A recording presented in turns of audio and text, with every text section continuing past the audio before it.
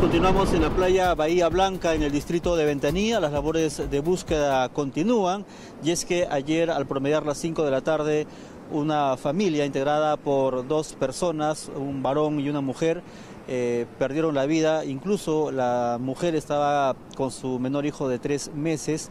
Ellos habían acudido a un peñasco de esta zona del litoral para realizar labores de pesca y una ola lo sorprende cayendo al mar. El esposo intentó salvarlo, pero lamentablemente también perdió la vida. El personal policial de la comisaría de Pachacute eh, ni bien tomó conocimientos, hizo las coordinaciones con la unidad de salvataje para la búsqueda respectiva de los cuerpos.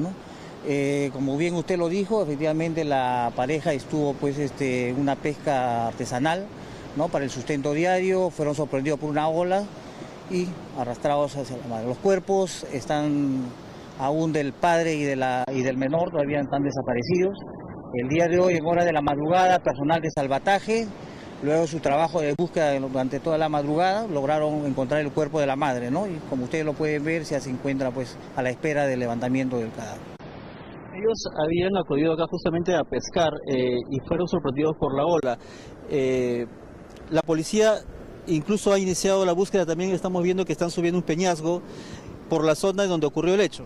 Así es, efectivamente. Eh, como le digo, ni bien se tomó conocimiento, se establecieron los, las operaciones de búsqueda en, la zona, coordinación con la policía de rescate, ¿no? Como usted, el factor climatológico no permite pues, una búsqueda aérea en estos momentos, pero sin embargo estamos eh, en estas operaciones, ya tenemos el cuerpo de la madre, esperemos pronto el resultado pues, de encontrar el cuerpo del padre y de la criatura. ¿no?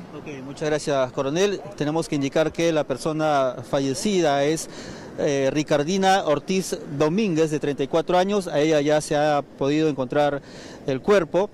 Lo que sí falta y continúa las labores de búsqueda es del esposo Luis Retis Rivera de 33 años y del pequeño Ángel que eh, como bien lo habíamos señalado estuvo con la mamá, eh, la mamá estuvo cargando al niño cuando fueron sorprendidos por la ola y lamentablemente cayeron al mar y el esposo al tratar de salvarlos también eh, terminaron eh, siendo llevados por la ola y perdieron la vida. Las labores de búsqueda continúan hasta aquí, también se ha hecho presente ya familiares quienes están colaborando también con la búsqueda en la playa y eh, están a la espera en estos momentos del fiscal de turno para el levantamiento del cuerpo de la mamá, quien se encuentra aquí también a un lado de la arena para terminar estas diligencias.